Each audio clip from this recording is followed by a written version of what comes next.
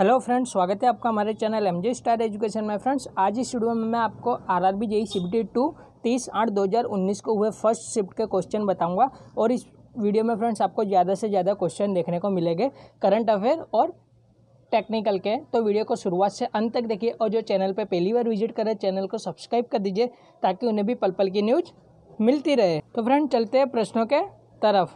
तो फ्रेंड्स, आज की फ़र्स्ट शिफ्ट में प्रश्न पूछा गया कि पीसो किस देश की करेंसी है? स्टूडेंट ने खाली ऐसे ही भेजा है। या तो फिर वहाँ पे कंट्री दे दी होगी और पूछा होगा, इस कंट्री की करेंसी क्या है? या तो फिर दे दिया होगा पीसो किस देश की कंट्री और आपको जो ऑप्शन दिया होगा, उस हिसाब से आपको लगाना होगा। बट मैक्सिमम जो पीसो जो है इंडोनेशिया की करेंसी है मैक्सिको की भी करेंसी जो है, पीसो है। जो भी ऑप्शन होगा, वो आपका राइट होगा। इसके अलावा एक क्वेश्चन जो है, पूछा गया था आपका eight Asian youth handball tournament कहाँ हो रही है यानी फ्रेंड्स? ये अगस्त का ही करंट अफेयर है। Eight Asian youth handball tournament जो है वो जयपुर में आयोजित की गई है। इसके अलावा एक प्रश्न पूछा गया 2022 का एशियन गेम कहाँ होगा? तो 2022 का एशियन गेम जो है वो चाइना के हांगजू में होगा। 2018 का एशियन गेम इंडोनेशिया में हुआ था। वहीं आपको 2026 का पूछे तो जापान के टोक्यो शहर में याद रखना है।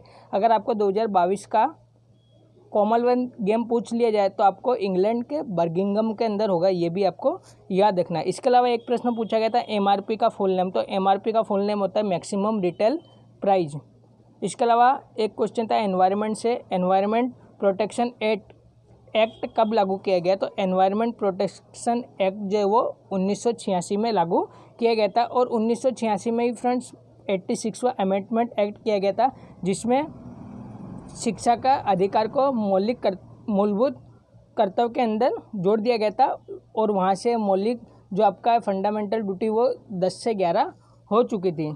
इसके अलावा एक प्रश्न पूछा गया था आपका, गांधी सागर डैम किस नदी पर है? तो गांधी सागर डैम जो है वो मध्य प्रदेश में चंबल नदी के ऊपर स्थित है। इसके अलावा एक प्रश्न था फ्रेंड, आपका संप्रीति एक्सरसाइज किन दो देशों के बीच होती है? तो संप्रीति एक्सरसाइज जो है वो इंडिया और बांग्लादेश के बीच में होती है। बांग्लादेश के प्रेजेंट टाइम पे प्रेसिडेंट जो है वो है शेख हसीना और पीएम है अब्दुल हामिद और बांग्लादेश की करेंसी है टका और कैपिटल है ढाका। ये भी आपको याद रखना है। इसके अलावा एक प्रश्न पूछा गया था, इटली की करेंसी क्या है? तो इटली की करेंसी जो वो यूरो है।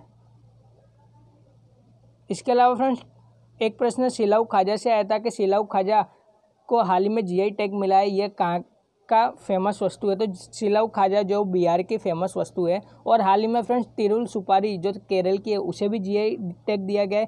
कंदमाल, हल्दी, उड़ीसा की, इसे भी जीआई टैग दिया गया है, और कड़कनाथ मुर्गा जो है एमपी का, इसको भी जीआई टैग दिया गया है। इनको भी आपको याद रखना है। इसके बाद फ्रेंड्स बात कर लेते हैं टेक्निकल में। तो स्टूडेंट ने बताया टेक्निकल के अंदर जो है रेक्टिफायर के ऊपर एक प्रश्न पूछा गया था हाफ़ वेव और फुल वेव रेक्टिफायर के रिलेटिव एक क्वेश्चन था। या तो फ्रेंड्स इसकी एफिशिएंसी पूछी गई होगी, या तो फिर टीएफआर पूछा गया होगा रेक्टिफायर का। एक प्रश्न था आपका, एक के डब्ल्यू एच बराबर कितने जूल? तो एक के डब्ल्यू एच बराबर होता है तीन पॉइंट छः गुणे दस की गाज छः जूल। इस को भी आपको याद रखना है। इसके अलावा एक प्रश्न आपका पूछा गया था, गैस वेल्डिंग का टेम्परेचर तो गैस वेल्डिंग का जो टेम्परेचर है वो थर्टी टू डिग्री सेल्सियस होता है। एक क्वेश्चन था जिंक का मेल्टिंग पॉइंट तो जिंक का जो मेल्टिंग पॉइंट है वो होता है चार सौ सत्तर डिग्री सेल्सियस इसके अलावा के सी एल और के वी एल लो से भी फ्रेंड्स एक क्वेश्चन आया था, यानी न्यूमेरिकल पूछा गया था। इसके अलावा स्ट्रिंग एफिशिएंसी से भी एक न्यूमेरिकल पूछा गया था और ओपन सर्किट टेस्ट से भी फ्रेंड्स क्वेश्चन पूछे गए हैं। इसके अलावा आर एम एस वैल्यू से का जो है R M S value of full wave की जो है फ्रेंड्स वो वैल्यू पूछी गई थी तो इसकी वैल्यू होती है V M upon root two R M S यानी होता है रूट मीन्स स्क्वायर इसको भी आपको याद रखना है। इसके अलावा फ्रेंड्स और क्वेश्चन पूछा गया था, वो था आपका R armature reaction of DC motor से एक क्वेश्चन पूछा गया था।